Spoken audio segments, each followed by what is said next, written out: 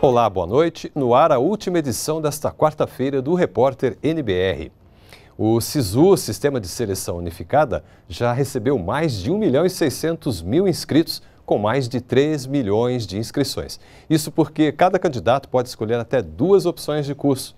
Neste semestre, o SISU oferece cerca de 238 mil vagas em 131 instituições públicas de educação superior de todo o país. A Milena tem só 16 anos, mas já pretende ingressar na faculdade em 2017. A moradora de Paranoá, no Distrito Federal, passou os últimos anos se dedicando à música e aos estudos, e nesta semana teve que tomar uma decisão que terá impacto em seu futuro profissional: a escolha do curso que vai fazer. Assim que abriu as inscrições no SISU, na última terça-feira, a estudante escolheu o curso de Serviço Social na Universidade de Brasília como primeira opção. E logo na primeira prévia, uma boa notícia: estava em primeiro lugar. Foi bem difícil escolher porque são muitos cursos que eu gostaria de fazer, mas depois eu decidi que o primeiro curso que eu quero fazer é serviço social mesmo. E eu também fiquei em dúvida no lugar porque eu tenho família em Salvador e tudo mais. Eu pensei em fazer lá, mas eu vou tentar aqui para a UNB mesmo. As inscrições do SISU são exclusivamente pela internet. No site, os candidatos podem consultar as vagas disponíveis, pesquisar as instituições e os cursos existentes. É preciso informar o número de inscrição e a senha usados no Enem de 2016. Os alunos podem selecionar dois cursos em diferentes instituições.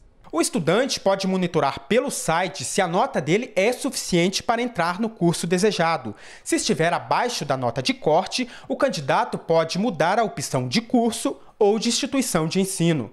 Escolher a futura profissão em meio a tantas possibilidades não é uma tarefa fácil. Este professor de uma rede de curso preparatório de Brasília recomenda que o candidato monitore as vagas até o encerramento das inscrições. E também está observando todo dia nas atualizações se ele continua dentro dos classificados. Né? Uma vez que, se outros candidatos se inscreverem com nota superior e ele for retirado do limite do número de vagas, ele pode pleitear outra instituição, ele pode pleitear outro curso, inclusive. Então está observando isso aí até a data do fechamento, o horário de fechamento, que ele aumenta as chances dele de ingressar no ensino superior.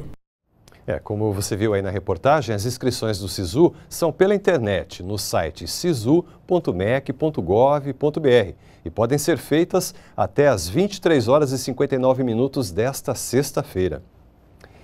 11 milhões e meio de vacinas vão garantir o combate à febre amarela. O anúncio foi feito hoje pelo Ministério da Saúde. O Ministério da Saúde vai receber imediatamente 6 milhões de doses da vacina contra a febre amarela. Outras 5 milhões e 500 mil doses já estão no estoque do laboratório Biomanguinhos da Fundação Oswaldo Cruz a Fiocruz já iniciou a produção de outras 9 milhões de doses da vacina. O diretor do Departamento de Vigilância de Doenças Transmissíveis do Ministério da Saúde, Eduardo Rage, disse que estão garantidos os estoques de vacinas e sua distribuição. Temos vacinas, portanto, hoje suficientes para a situação atual, temos vacina suficiente para as próximas eh, semanas e há ainda capacidade de produção adicional e é, para qualquer demanda que venha se apresentar é, no, nos, nas próximas semanas.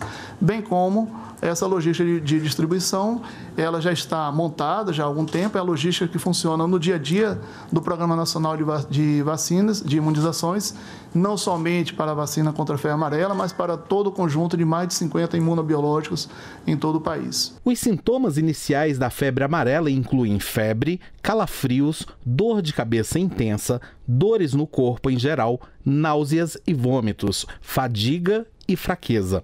Em casos graves, a pessoa pode desenvolver febre alta, hemorragia e insuficiência nos órgãos. Até o momento, foram confirmados 70 casos da doença e 40 óbitos. Os registros foram feitos nos estados de Minas Gerais, Espírito Santo, Bahia, São Paulo e Distrito Federal, que já adotaram várias ações no combate à doença, sobretudo para a população que vive nas zonas rurais. A gente está fazendo uma vacinação de bloqueio para evitar que temos uma entrada da febre amarela no nosso estado. A vacina que chega em Minas é automaticamente distribuída aos regionais e, consequentemente, aos municípios. O Estado também está auxiliando os municípios na programação da sua vacinação, eh, enfatizando a necessidade de vacinar a zona rural, principalmente, ajudando na programação, na vacinação casa a casa, na ida, são lugares íngremes, lugares de difícil acesso, e também ajudando nesse processo de, de convencimento de levar a vacina quem realmente precisa mais, nesse caso a zona rural e depois a zona urbana. O ministro da Cultura, Roberto Freire, está no Piauí. Lá ele visitou o Parque Nacional da Serra da Capivara, onde assinou um acordo de cooperação para a gestão compartilhada do lugar. Vão participar dessa gestão entidades como o Instituto do Patrimônio Histórico e Artístico Nacional, o IFAM, o Instituto Brasileiro de Museus, IBRAM, e o Banco Nacional de Desenvolvimento Econômico e Social, BNDES. A ideia é melhorar os mecanismos de conservação e divulgação desse patrimônio cultural. No Parque Nacional da Serra da Capivara fica o maior registro da pré-história do Brasil. São 400 sítios arqueológicos em 129 mil hectares. O território entre as serras, vales e planície, no meio da Caatinga, é tão rico que ganhou da Unesco o título de Patrimônio Mundial. Atualmente, ele é administrado pelo Instituto Chico Mendes de Conservação da Biodiversidade, o ICMBio. O ministro da Cultura também visitou o Museu do Homem Americano no município piauiense de São Raimundo Nonato. As peças mostram a importância do patrimônio cultural deixado pelos povos pré-históricos. Nós ficamos por aqui. Podemos voltar a qualquer momento com outras informações, ou amanhã às nove da manhã, na primeira edição do Repórter NBR. Acompanhe as novidades também pelas nossas redes sociais. Uma ótima noite para você. Continue com a gente aqui na NBR, a TV do Governo Federal.